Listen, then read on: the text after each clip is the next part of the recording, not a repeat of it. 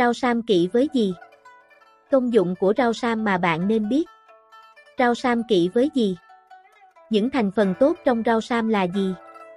Gợi ý những món ngon từ rau sam vừa dễ nấu vừa an toàn. Rau sam là loại rau phổ biến tại Việt Nam. Tuy nhiên, ít người biết rằng ăn rau sam không hợp lý có thể gây hại cho sức khỏe. Vậy rau sam kỵ với gì? Rau sam có tác dụng gì? Sức khỏe gia đình sẽ chia sẻ trong clip dưới đây. Tìm hiểu về rau sam. Trong khoa học, rau sam có tên gọi là Portula oleracea. Loại rau này có nguồn gốc từ Ấn Độ và các nước Trung Đông. Hiện nay, rau sam đã thích nghi được với nhiều môi trường thời tiết khác nhau, sống được ở nhiều nơi. Rau sam được biết đến là cây mọng nước với khoảng 93% là nước. Cây rau thường có thân màu đỏ, lá nhỏ màu xanh lục, hoa vàng hoặc hồng. Thân cây rau sam có thể mọc dài tới 40cm.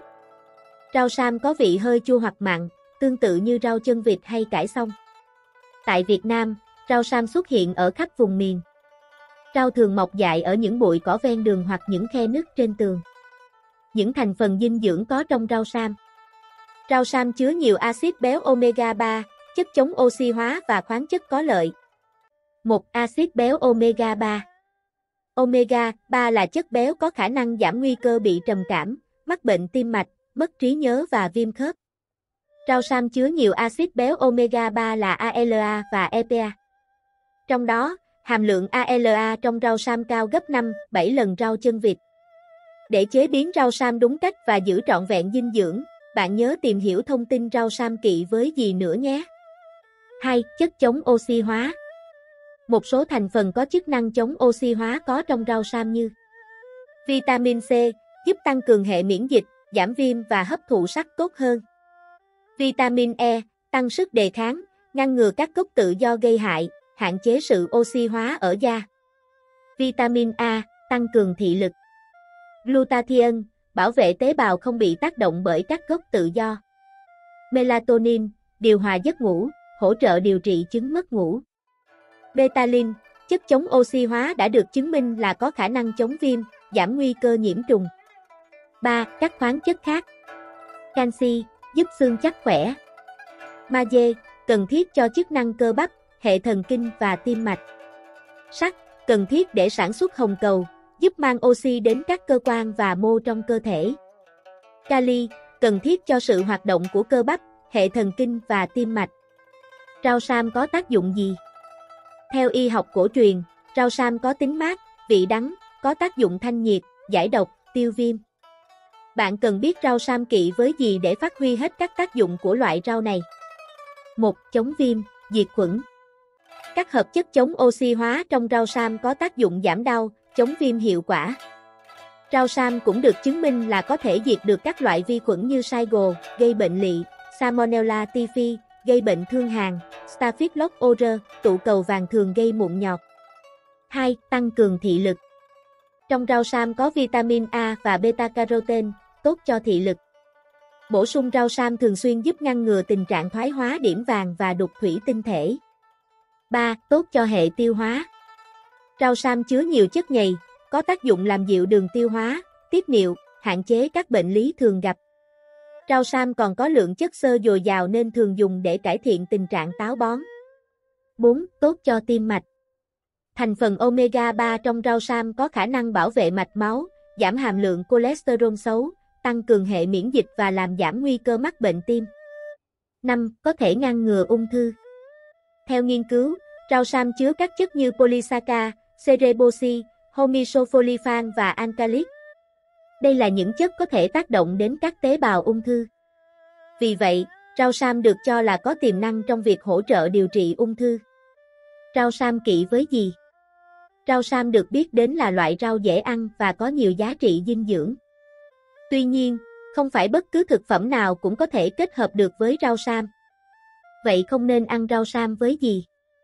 Theo kinh nghiệm dân gian, rau sam không được kết hợp cùng với thịt ba ba, thịt rùa và trứng vịt lộn. Nếu nấu cùng rau sam với các nguyên liệu trên có thể gây ngộ độc, thậm chí nguy hiểm đến tính mạng. Nguyên do là cả rau sam và các thực phẩm trên đều có tính hàn. Vì thế khi nấu cùng với nhau, sẽ dễ gây nên các tác dụng phụ không mong muốn. Bên cạnh việc hiểu rõ rau sam kỵ với gì, bạn cũng có thể tìm hiểu những đối tượng không nên hoặc hạn chế ăn rau sam. Cụ thể, phụ nữ đang trong thời kỳ cho con bú, người đang dùng thuốc bắc, những người có bụng già yếu, lạnh bụng hay bị tiêu chảy. Tuyệt đối không dùng rau sam cho những người đang điều trị hay mắc bệnh sỏi thận, vì rau sam chứa oxalate, một chất có khả năng gây sỏi thận khi tiêu thụ quá nhiều. Ngoài ra, khi chế biến rau sam, bạn không nên nấu kỹ vì sẽ làm phân hủy dinh dưỡng có trong rau. Gợi ý 3 món ăn ngon từ rau sam. Khi biết rau sam kỵ với gì, bạn có thể tránh những món ăn nằm trong danh sách kỵ để đảm bảo an toàn cho sức khỏe. Rau sam có thể chế biến thành các món ăn đơn giản dễ làm như rau sam luộc, rau sam nấu tôm, rau sam xào tỏi. 1. Rau sam luộc Nguyên liệu 500g rau sam Gia vị, gừng, muối, nước mắm, chanh, đường Hướng dẫn cách nấu Rau sam mua về nhặt sạch, bỏ hết phần già và phần lá bị hỏng rồi rửa sạch với nước. Trong thời gian chờ nước sôi, bạn pha nước chấm với gừng, mắm, chanh, đường theo khẩu vị. Cho nước vào nồi đun đến khi sôi thì cho rau sam và thêm chút muối. Đợi nước sôi trở lại một lần nữa thì tắt bếp, vớt rau sam ra đĩa và thưởng thức với nước chấm đã pha sẵn. 2. Rau sam nấu tôm Nguyên liệu 250g rau sam 60 dê tôm 1 phần 2 củ hành tây Gia vị, dầu ăn, mắm, muối Hướng dẫn cách nấu Sơ chế rau sam rồi ngâm với nước muối loãng khoảng 10 phút. Tôm bóc vỏ, bỏ đầu đuôi, băm nhỏ. Hành tây bóc vỏ, cắt đôi thái theo chiều dọc hành. Bắt nồi lên bếp, cho hai thì dầu ăn rồi cho hành tây vào phi thơm. Tiếp đó cho thịt tôm và cuối cùng là rau sam vào xào sơ. Nêm nếm gia vị cho vừa ăn, xào thêm khoảng 5 phút thì cho nước vào nấu sôi là bạn đã hoàn thành món canh rau sam nấu tôm thơm ngon. 3. Rau sam xào tỏi Nguyên liệu. 500g rau sam. Gia vị, một củ tỏi, dầu hào, dầu ăn, mắm, hạt nêm. Hướng dẫn cách nấu. Rau sam mua về nhặt kỹ, chọn lấy phần ngọn non rồi rửa sạch với nước. Tỏi bóc vỏ, xay hoặc băm nhuyễn. Chần qua rau sam với nước sôi. Rau vừa chín tới thì vớt ra tráng qua nước lạnh để rau bớt đắng.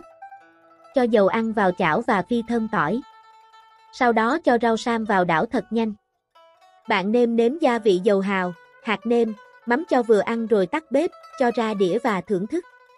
Rau sam chứa nhiều chất tốt cho sức khỏe. Tuy nhiên, khi sử dụng loại rau này, bạn cũng cần lưu ý rau sam kỵ với gì, để có thể chế biến những món ngon từ rau sam đúng cách. Mong rằng những thông tin bổ ích trên sẽ giúp bạn thêm được món ăn dinh dưỡng vào thực đơn cho cả gia đình.